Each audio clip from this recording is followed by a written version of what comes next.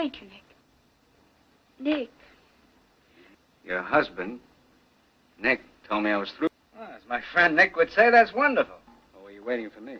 Nick was saving that. Nick saves a lot of things. It's none of your business what. Nick, uh, why don't you let me take your car? I'll run that sign into town and get it fixed. But, Nick, that's not the point. Maybe it's none of my business, but uh, what's Nick sore about? Sing something, Nick. Okay. But start the jukebox, Nick, and I'll dance with you.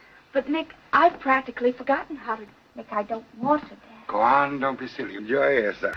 Save your strength, Nick. It's too hot to dance. Nick. Nick said it was all right with him if it's all right with you.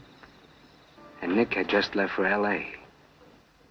Nick just had another brainstorm and drove into town. Why I married Nick. My answer is that Nick came along at the right time and with a wedding ring. Sure.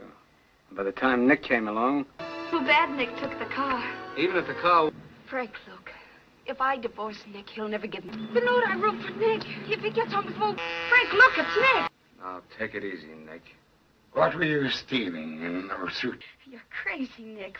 Frank's not a thief. Oh, you've had too much beer, Nick. Sure, the other one was ours. That's all right, Nick. I'll pick him up. What? Pray for something to happen to Nick? Nick was taking a bath. Nick. Nick. Nick, it's me. Cora. Don't you even know your own wife? Nick, aren't you going to speak to me? Oh, Frank, what are we going to do? They know something's wrong. Suppose Nick died. If Nick should should die, they'll know.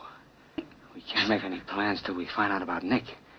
And Cora wouldn't even discuss what was going to happen when Nick came home.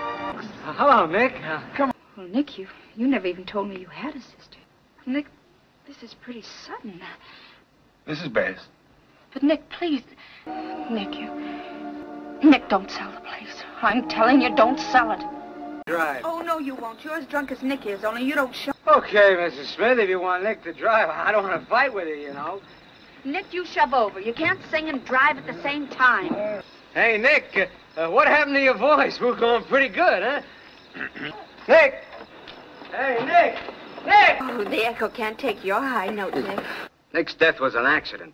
That brand new $10,000 insurance policy Nick Smith took out on his life. Nick's had an accident. Get him to take out an accident policy. But I left that place before Nick came home from the hospital. And the day after the policy was granted, you accidentally, on purpose, ran into Nick, and what do you think? There were just three people in that car, Nick and you and Cora. It's a cinch Nick didn't have anything to do with it. I guess not. Then it was Cora who crowned Nick with the bomb. And it wasn't nervousness on Cora's part that sent that car over with you in it as well as her husband. Oh, no. Although it was Frank who smashed Nick in the head before the car went over the cliff. You'd soon be right back here again for helping her kill Nick. No, laddie, for killing Nick. Cora paid for Nick's life with hers.